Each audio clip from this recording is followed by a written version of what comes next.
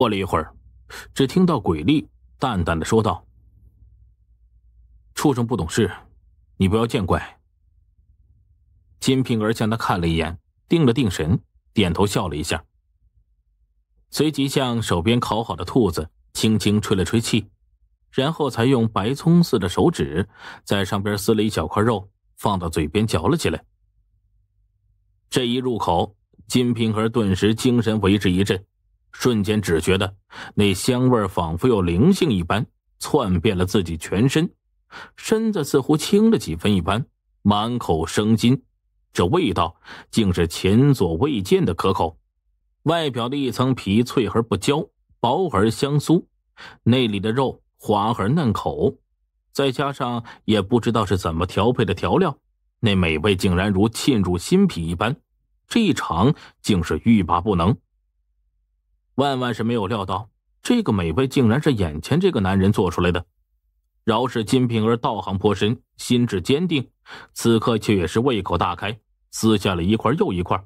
不过一会儿的功夫，已经吃完了一条兔子腿，这才觉得有些饱了，停了下来，随即呢笑了一下，向鬼力看去：“公子好手艺呀，一只普通的兔子，竟然也能被你烧烤的如此美味。”这时，猴子小辉已经又跑了回来，趴在鬼力的身边，一双灵活之极的猴眼转来转去，一会儿看看鬼力，一会儿呢又向金瓶儿看去。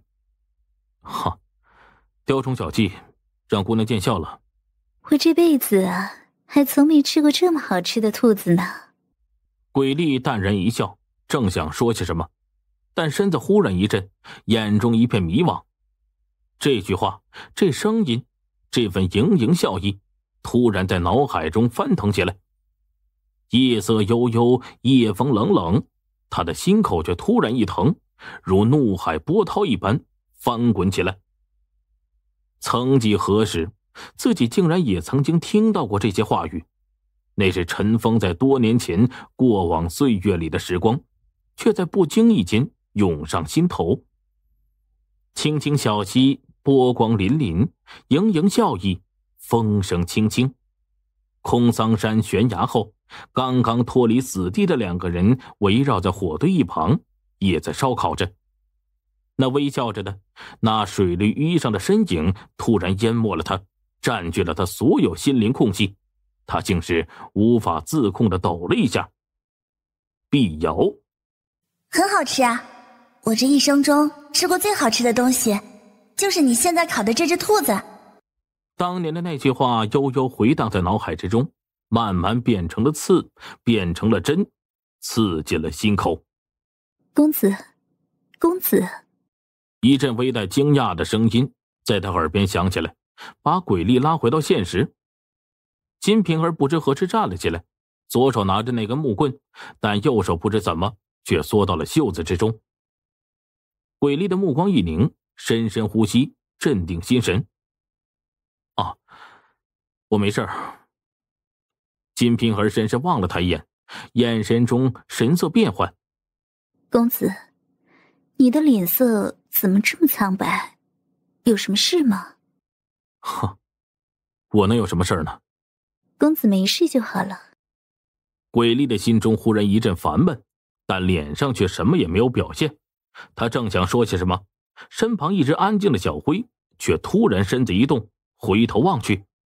鬼力和金瓶儿同时若有所感，站起身来向南望去。只见南方天际那一片被群山围绕的宁静焚香谷的上空，突然远远传来一声厉啸，一道红光冲天而起，照亮一片天际之后，才缓缓落下。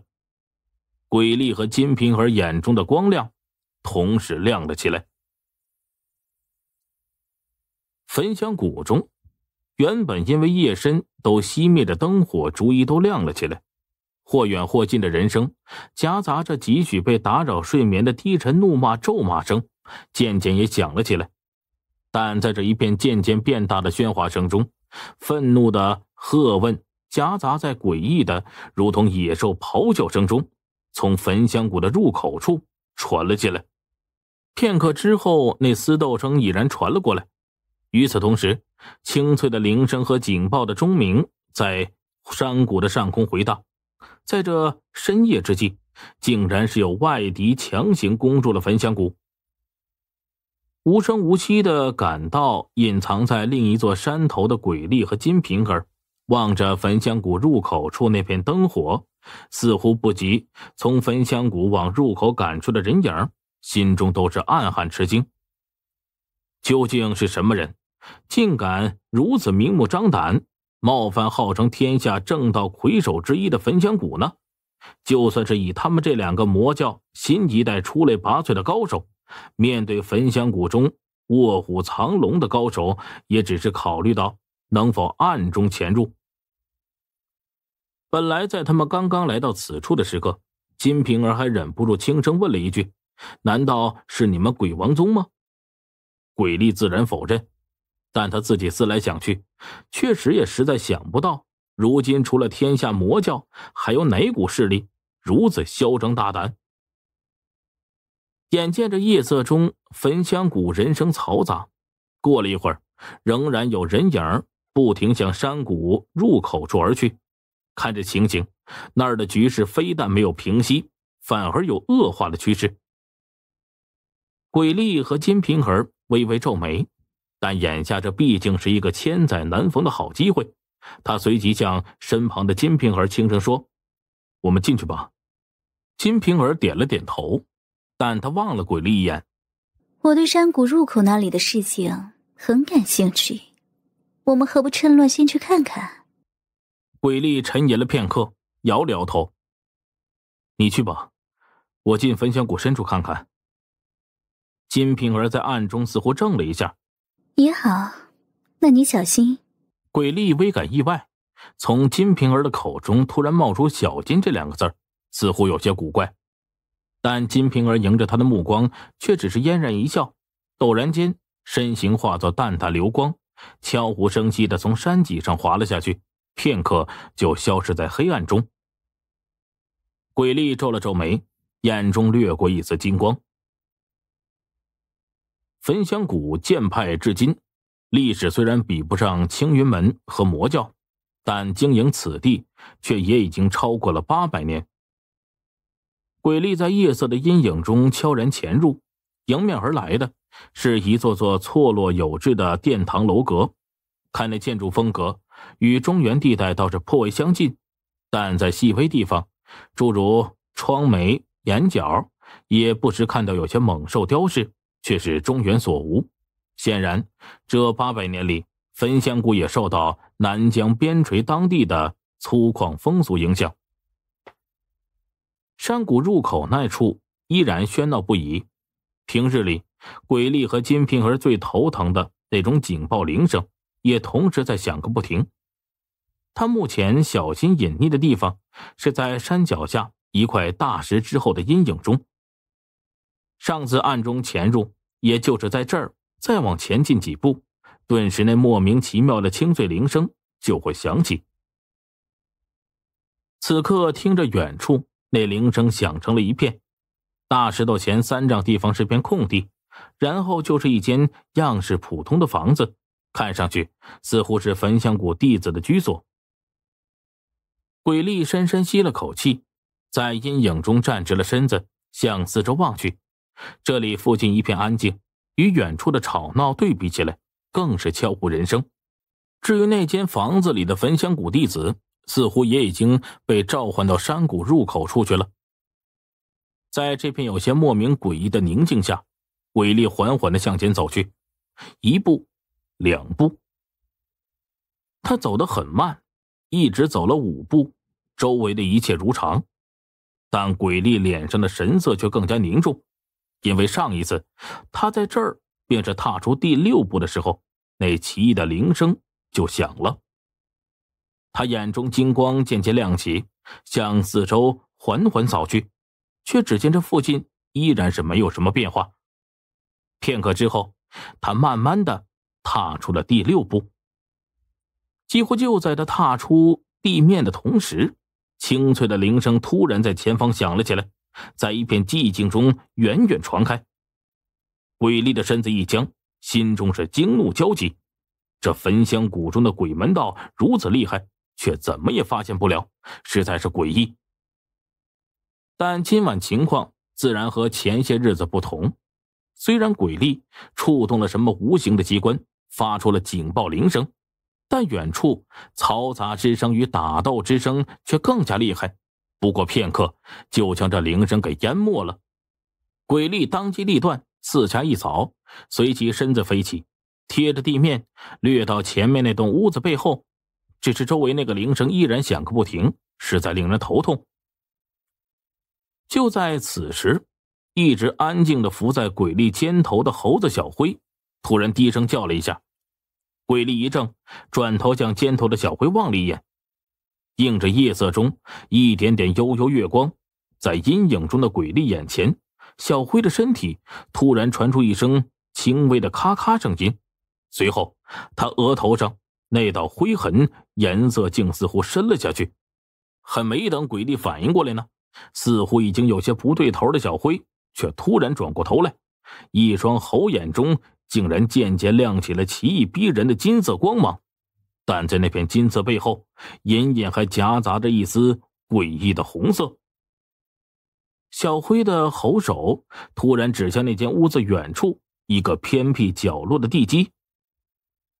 鬼力将小辉抱下，仔细打量一下，怎么了，小辉？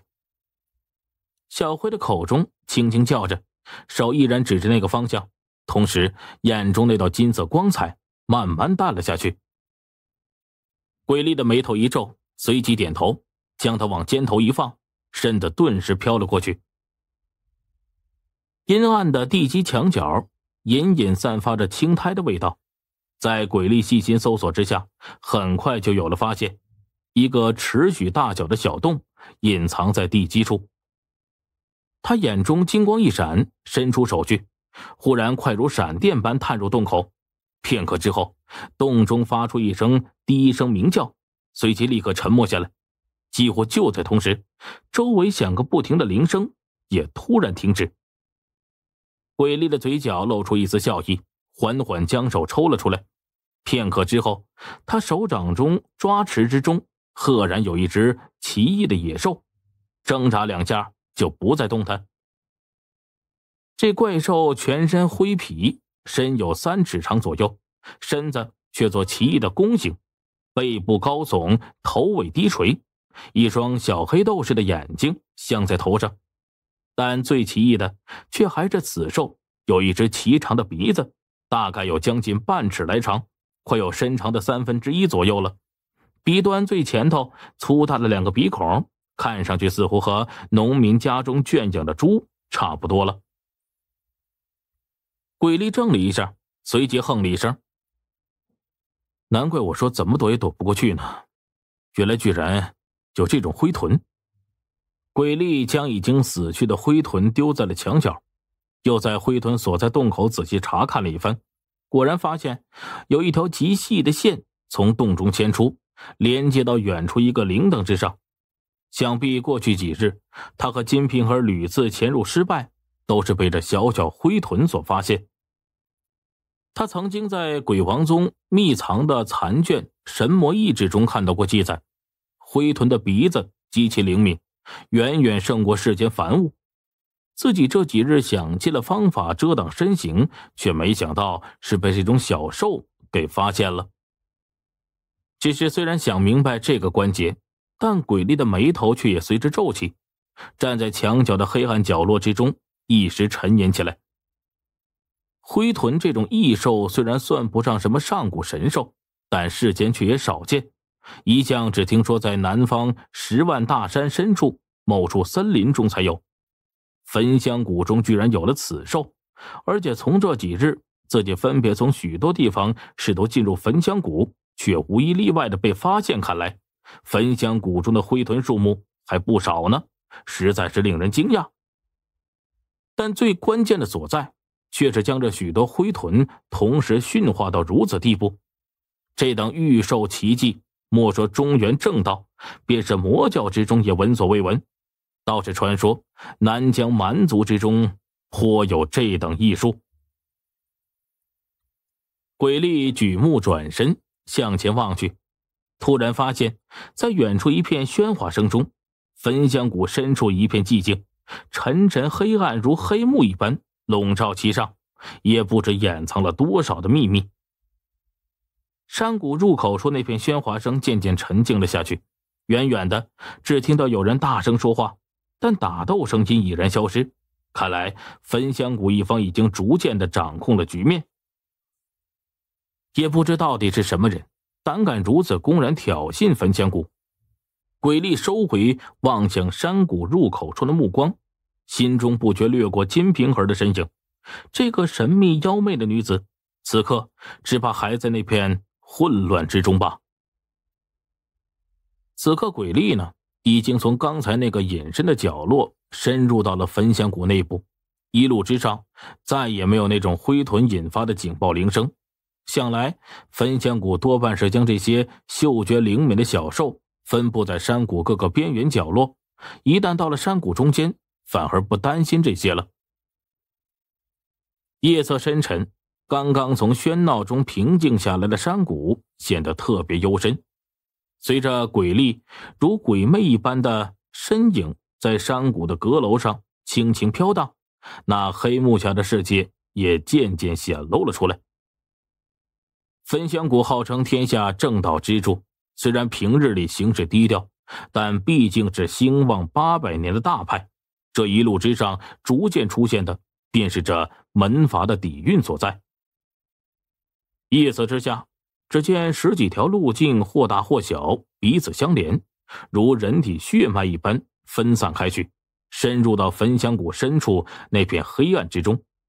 道路两旁。或是普通弟子居所，或是高大雄伟的殿堂，夹杂在这些建筑中间的，多为花草树木，有青竹寒梅，已有鲜艳橙黄的牡丹芍药，相互成群，远远相望，与周围殿堂浑然一体，竟是各有风味。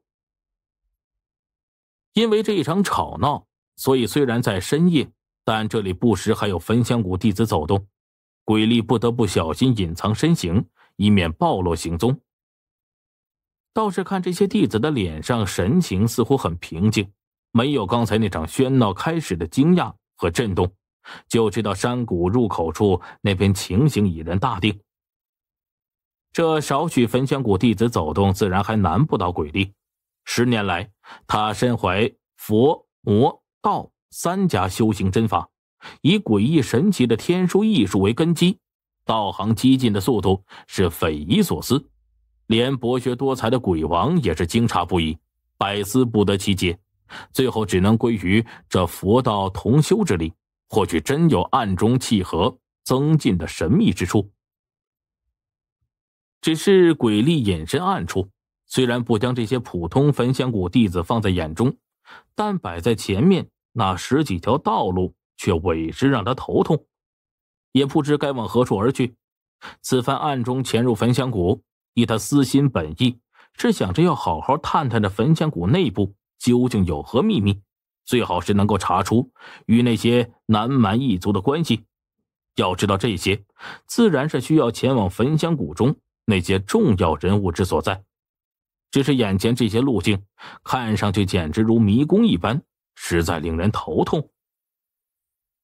就在鬼力皱眉沉吟，考虑是否要抓一个焚香谷弟子拷问的时候，忽然肩头上一阵异动，耳边传来小辉一阵轻微的呻吟。